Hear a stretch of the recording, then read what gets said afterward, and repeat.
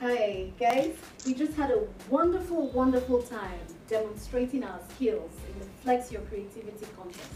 I mean, I know I had a good time watching all of you. Anita, tell me, you seemed under a lot of pressure. How was it?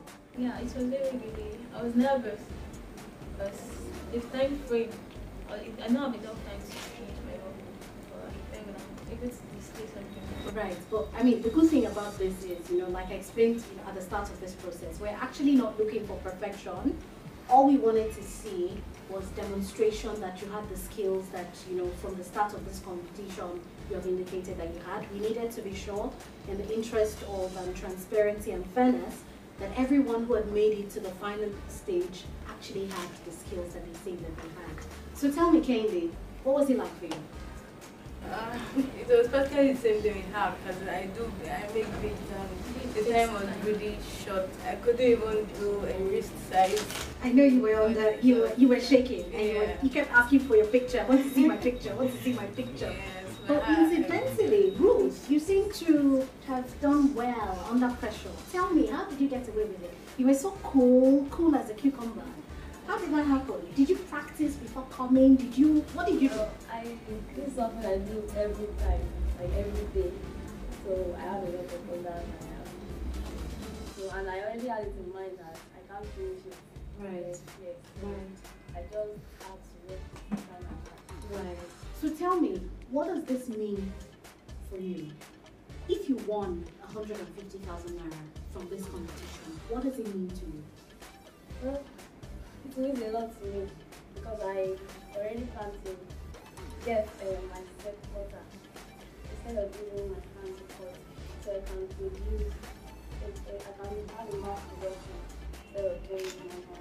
Okay, so the circle cutter makes it faster for you to do because I can cut many circles at home. Right, right. Francis, the man with the red blazer. tell me, tell me. I mean, it was incredible. We, we watched you work. We saw, you know, how you created. You know, it's incredible that we had actually asked for accessories only, but you know, Francis took it a step further. He not only created accessories, he literally tried to make me a dress. Tell me, what was that about? How was how was the experience? Um, actually, I really love fashion and uh, you know, fashion to me is like art. It's like sketch. If you ask me, already it was stated in the message that uh, Mr. Demo is not. Um, I already know. So if you could um, do fashion, then you can sketch. So you can bring out whatever. Right. Yeah. Right. So that's what I do. I know, interestingly, Francis, that you're from. I mean, we're in Lagos. We're doing this interview right here in Lagos. But you're from all, all the way from Bauchi. Bauchi State. Wow, that's incredible. That's passion. I mean, and you know, for us at FCMB, we think that this is the kind of passion that we would like to encourage. This is the kind of passion that with the Flexx account, we want to give people that have this kind of passion the opportunity to go further, you know, with whatever it is that they do. So I'm going to ask you as well. If you won this competition, what would that mean to you? What what what would that mean to you? Mm, actually, it has been my dream looking back at um, the other seasons that come by. Um, I know that um, when my work is showcased, I know that um, I'll really move a step forward, not only a step, not step forward. So um, I know I have a, there are hidden talents, so to say. So if it is brought out to the world and uh, you know people to see and appreciate it as well. That's incredible. Now, now I, I just have a couple more questions for you, Kendi. There's so many young people who go around, they're in school, they're looking for their parents or their guardians to support them, give them money all the time. Then there are young people like yourself who have these skills and they're trying to earn a living. What do you have to say to other young people who are your age, who, you know, are essentially doing nothing?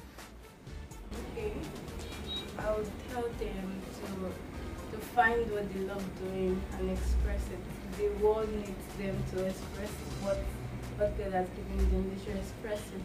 They should they could make money from it. They could bless people's life because you doing what you're doing, you're affecting the other person even sometimes without knowing. So just express yourself, do what you have, you know how to do and do it very well. That's what I would tell Excellent, excellent. I, I just want to say thank you to all of you um, for participating in the Flexx Your Creativity contest. Now, I just also wanted to give you an idea of what to expect from here on. At the start of the contest, we had laid out the terms and the conditions for participation. We let our contestants know that there was the first stage where you'd be required to submit your entry. You all did that. You got your family, you got your friends, you got people to vote for you, and those public votes moved you to stage two. And at stage two as well, we had another set of 13 um, semi-finalists who we also asked submit their entries, which